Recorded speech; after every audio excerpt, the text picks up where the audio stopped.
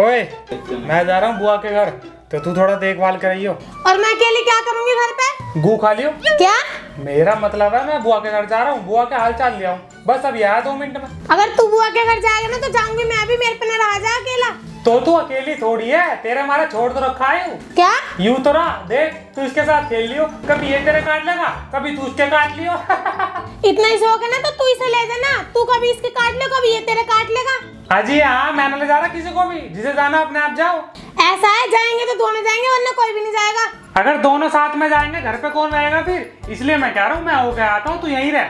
ना बिल्कुल भी ना जाएँगे तो दोनों जाएँगे वरना कोई नहीं जाएगा। ऐसा मेरे से ज़्यादा मत कोई मत कर। जा काम कर अपना। जाके देख बुआ के घर फिर बताऊँगी तुझे पापा से कह दूँगी। जा कहते पापा से। पापा कहेंगे मंत्री है। क्या? मेरा मतलब चलना। मैं क्या मना कर रहा हूँ? चल। अभी तो आया लाइन पे। हमेशा पापा की दोस्त दिखाती रहेगी कंजरी सी। जल्दी साफ़ कर ले इसे। चुप खड़ी रह कभी बताऊँ अभी। ना खड़े हो कर ले क्या करे? ले तो चली जा अपना चलना मैं तो मज़ाक कर रही थी। सॉरी मांग पहले ऐसे नहीं। सॉरी चलना। ऐसे नहीं कान पड़ के सॉरी मांग। सॉरी ऐसे नहीं कान पड़ के सॉरी मांग। का भैया जी मुझे माफ़ कर दो मैं भी चलूँगी तुम्हारे साथ में ऐसा बोल। हाँ तुझे बोलूँगी भैया आ जाओ ना पर ले तो चली जा अपना आप हम तो न जा रहे चलना भैया जी सॉरी माफ़ कर दो। हाँ अभी तो आई उठनी पहाड़ के नीचे। चल, बुआ के घुमा के लाऊं।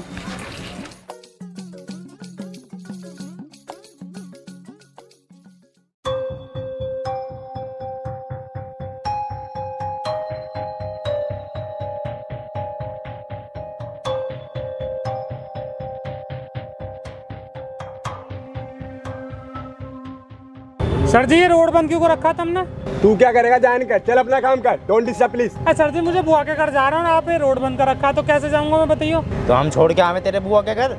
ना सर जी तुम कुछ छोड़ के आओगे? मैं अपने आप चले जाऊँगा। बस ये रोड क्लियर करवा दो एक बार। हमसे बहसबाजी मत ना करे। जाकर सर से बात कर। तो कहाँ सर बुला दो एक बार मैं बात कर लूँगा। वो किसी के बुलाने पे नहीं आते। खुद ही जाना पड़ता है। तो मैं चले जाऊँगा ये तो बताओ है कहाँ? देख वो रे सर जाके बात कर चल।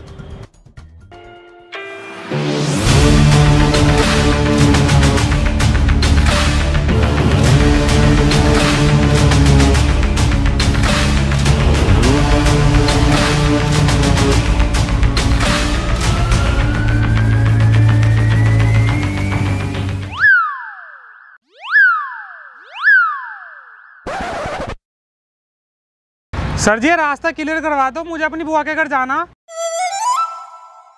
तो जाओ फिर रोक कौन रहा है? तो सर जी जाऊँ कैसे? आपने तो ये रोड बंद कर रखा और मेरी बुआ के घर यही रोड जाता बस। रास्ता नहीं खुलेगा ये। तो सर जी फिर कैसे जाऊँ? मेरी चाँद पे बैठ के। दो जने हैं सर जी संभाल लोगे कभी रपट के गिर जाए।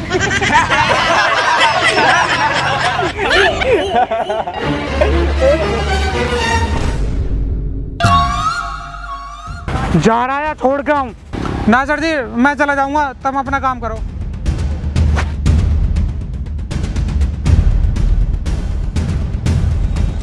क्या हो गया भैया? हम नज़ारा बुआ क्या ज़िंदा रहेंगे तो खुद चले जाएँगे बैठ दूँगी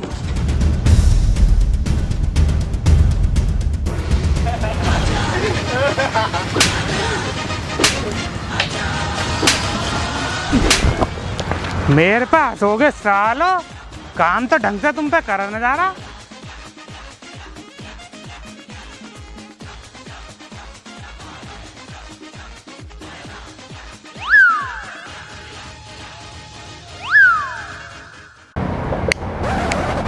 ये तो बीड़ी खराब।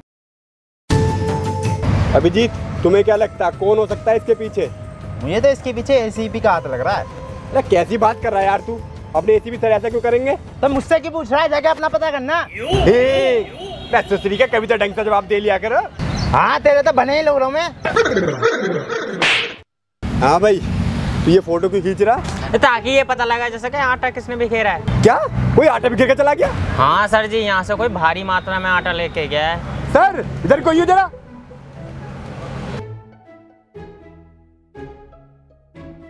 सर देखिए कैसे आटा बिखरा पड़ा है। माय गॉड एक तो वैसे ही पूरे भारत में आटे की कमी पड़ रही है और ऊपर से कोई आटा बिखेर के जा रहा है। सर जी मुझे लग रहा है हमारे देश का आटा को इधर से उधर कर रहा है। और जिससे ये आटा पड़ा हुआ है इसे देख के ऐसा लग रहा है जैसे हमारे देश पे बहुत बड़ा संकट पड़ने वाला है। अभी जी ठीक कह रहा है सर।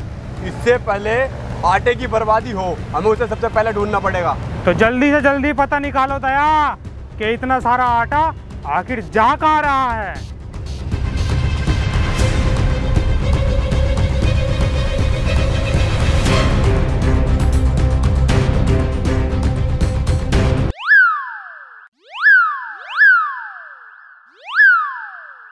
मेरी सूत्र की एक तो कंपनी वाले पता ना बीड़ी कैसी बना रहे जल के ही ना दे रही।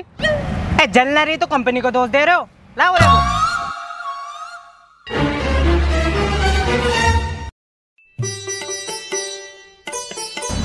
देखा? जली ना जली एक बार में। पकड़ो।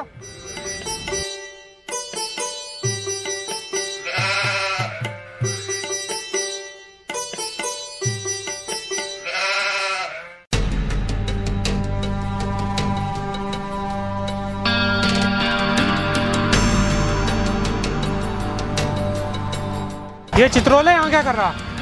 पूछ क्या होता है? यही बताएगा?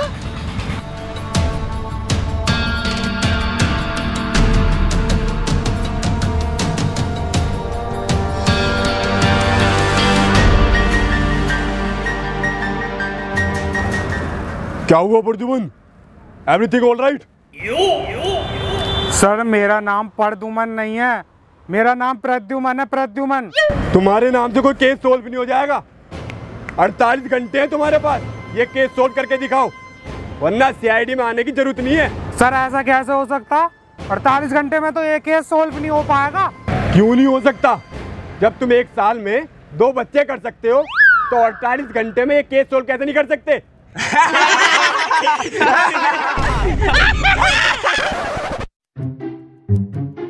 बोलो बोलते क्यों ना हो? क्यों हँसी बंद होगी? सर पहली बात तो ये बच्चा मेरे ना मेरी घरवाली के हुआ। और दूसरी बात ये एक साल में दो जुड़वा बच्चे तो पैदा हो सकते हैं ना? मुझे मत सिखाओ। 48 घंटे में पूरा केस सोल्व करके दिखाओ वरना ऑफ़िस में आने की ज़रूरत नहीं है। लेकिन 48 घंटे में तो दो दिन होते हैं। चल ठीक है ठीक है केस सोल्व करो। ये सूसरा मरेगा मेरे हाथों से।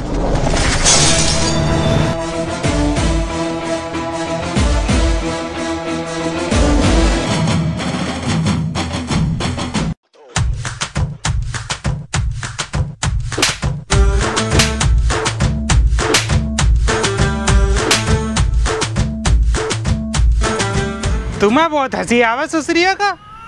अब सोल्व करके दिखाओ अड़तालीस घंटे में। तो कर देंगे सोल्व क्यों टेंशन ले रहे हो हम है ना? सर जी जब तक हमें तुम्हें टेंशन लेने की ज़रूरत नहीं है तुम बीड़ी पियो।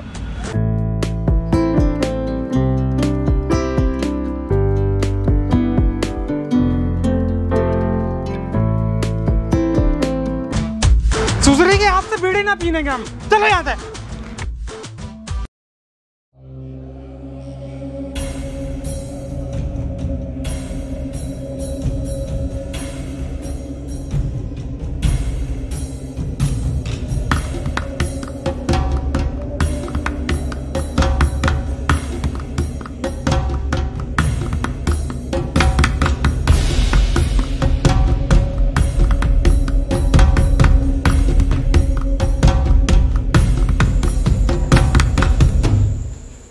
भाई सालूम के कुछ पता चला इस आटे के बारे में? या ऐसे टाइम फोड़ रहा है? नहीं मतलब मैं टाइम पास कर रहा हूँ। नहीं तुमने मुझे समझ क्या रखा है? चाय वाला जो हमेशा ही पानी उबालता रहता। तो ठीक है बॉस इस लैब में चाय वाले की क्या ज़रूरत? मैं जा रहा हूँ। गुड बाय अरे सालू के कहाँ जा रहा है यार? हम तो मज़ाक कर रहे हैं। तो हम भी तो मज़ाक कर रहे हैं। अरे हम जानते हैं हमारे बगैर सीआईडी कितनी अधूरी है। मैं जानता हूँ यार मैं जानता हूँ। चल सालू के जल्दी से बता दे तुझे इसमें से क्या मिला। बॉस पते की बात तो यह है इसमें से मुझे कुछ नहीं मिला। ये क्या कह रहा तू सालू के कि तुझे इसमें से कुछ मिला ही नहीं? जब नहीं मिला तो नहीं मिला इसमें मैं क्या कर सकता हूँ? सर आपके सिवा आप कौन बताएगा? ऐसे तो ये केस सोल्व हो नहीं पाएगा। ये काम तुम्हारा है ना कि मेरा। सर काम तो हमारा है लेकिन आप भी तो कुछ बताइए।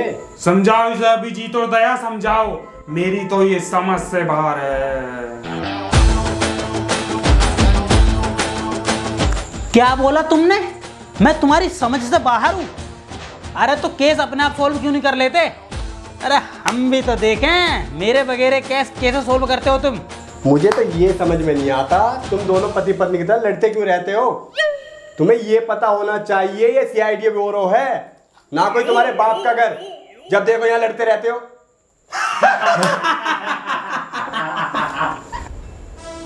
दया आजकल तुम कुछ ज़्यादा नहीं बोलने लगे हो। हम बता रहे हैं थोड़ा कम बोला करो वरना बेमौत मारे जाओगे। सॉरी सर सर प्लीज़ मज़ाक हो गया वो तो अब। काम की बात कर लें। बिल्कुल अभिजीत। ये करी तुमने पते की बात। तो अब मैं तुम्हें एक बात ऐसी बताने वाला हूँ जिसे सुन के तुम्हें शौक लगने वाला है। तो अब ध्यान से सुनना। ये बात मैं तुम्हें बहुत पहले ही बता देता। वो तो ठीक है सर। आखिर बात तो बताओ क्या बात है? देखो ये बात सुन के तुम गुस्सा मत करना। कैसी बात कर रहे हो सर? हम क्यों गुस्सा करेंगे आप पे? बहुत ही इम्पोर्टेंट बात है ये। अरे तो बताना क्या बात है? हम भी परेशान ये भी परेशान। आखिर बताता क्यों नहीं है क्या बात है? मैं दारू पीने लगा हूँ। सालू के तू एक काम कर तू इस ऑफ़िस से ना रिटायर ले ले क्योंकि तेरा दिमाग ज़्यादा चलने लगा है। साड़ू के साहब आप ऐसी बातें क्यों करते हो? जिससे सर की किलत जाती है। दया मैं कहा ऐसी बात करता हूँ? ये तो अपने आप ही बुरा मान जाता है इसमें मैं क्या करूँ? सर आप वो सब छोड़ो। आप ये बताओ थोड़ी बहुत दारू रखी है क्या हाँ? सर अगर थोड़ी बड़ी दारू मिल जाती तो मज़ा था आ जाता। हाँ हाँ क्यों नहीं? अभी ला रहा हूँ मैं तुम्हारे लिए।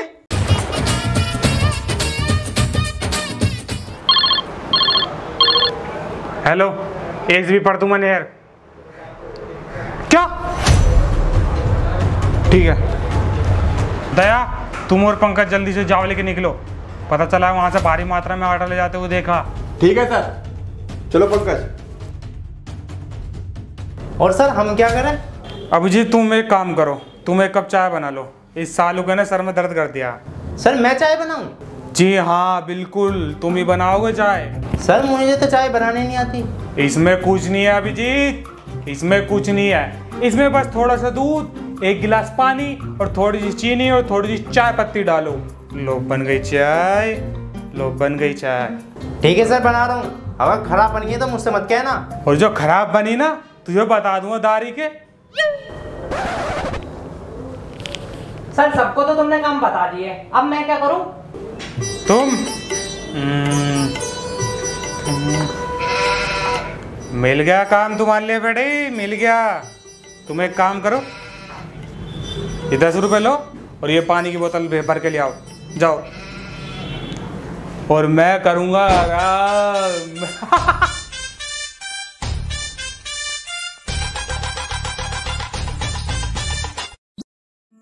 पंकज तुम जाके पता करो कि यहाँ से भारी मात्रा में आटा कौन ले जा रहा है? सर मैं नहीं जा रहा।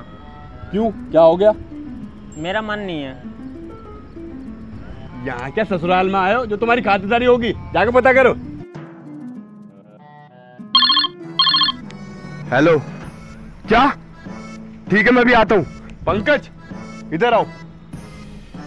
दूसरा केस आप पहले सुझा के चल के देखते हैं। सर जरा एसीपी सर को तो बता दो। हेलो। एसबी पर तुमने यार? सर जल्दी ऑक्शन के पीछे पहुंचो। एक नया केस आया क्या, क्या?